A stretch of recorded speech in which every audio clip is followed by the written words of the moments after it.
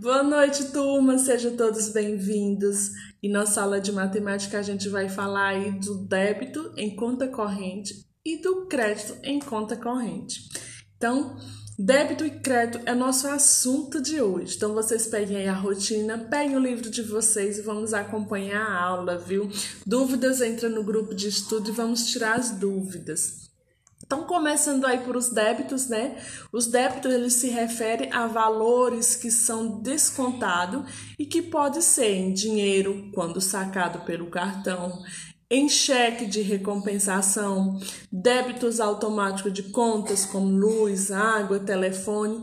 Então, quando a gente fala em débito, se refere a valores descontados. Então, são aí aqueles valores que quando a gente percebe aí a conta já está bem baixa, viu? Então, débitos pode se referir, né, em dinheiro sacado pelo cartão, em cheque de compensação, débito automático que vem aí das nossas contas, contas de despesa, luz, água, telefone. Os créditos, ah, esses são bons, né? Então, os créditos se referem a valores acrescentados. Então, quando é acrescentados, para a gente é bem melhor.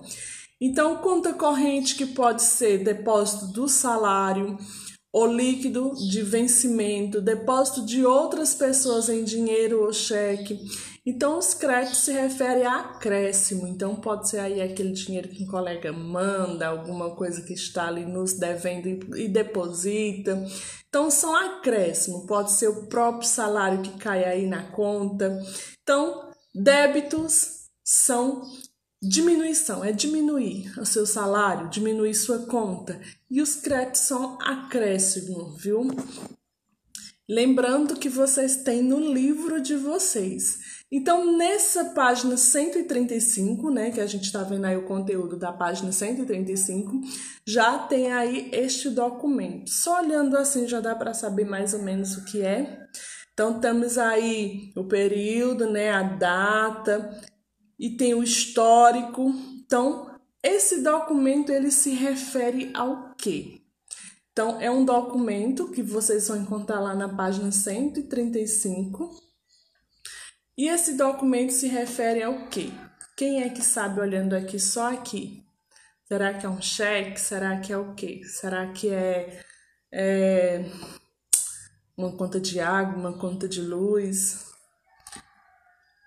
Aí a letra diz o seguinte: ao que se refere esse documento, o que é débito? Então vocês podem colocar do que eu falei, como vocês podem colocar com as próprias palavras de vocês.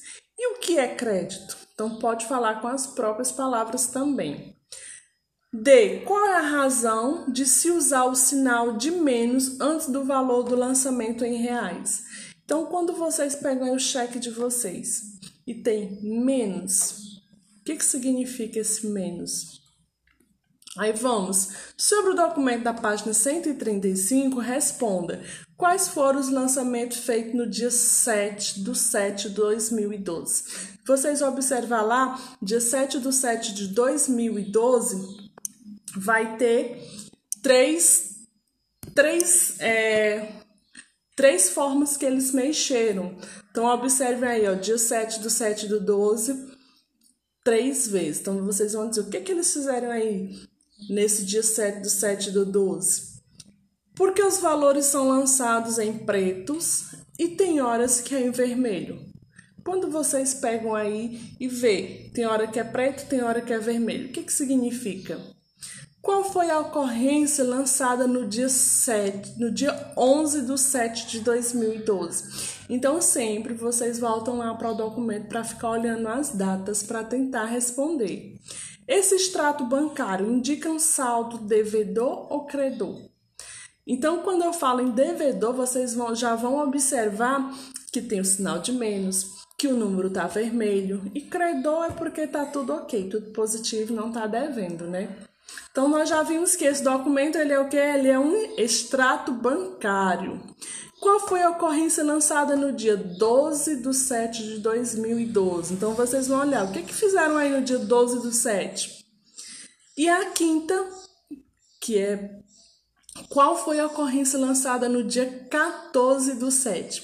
Então, esse exercício completo vocês vão completar aí pelo extrato bancário. Qual é o valor do saldo que o titular dessa conta corrente tem no banco.